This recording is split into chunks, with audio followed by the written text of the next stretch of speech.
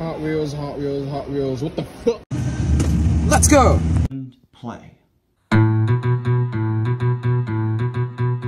Hey! Go!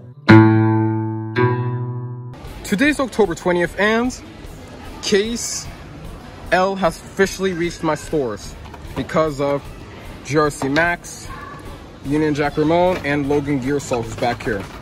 Yesterday, I saw Radiator Springs McQueen, but normal Hot Wheels scalpers just scalped him. But I'm picking up Max because Instagram polls and Max won. I'm here at Toys R Us Sand. Finally restocks, and it's the case I was literally at the other store. It's case L because, as you guys can see, there's GRC Max. But one thing I've noticed, Doc Hudson's here. What the heck?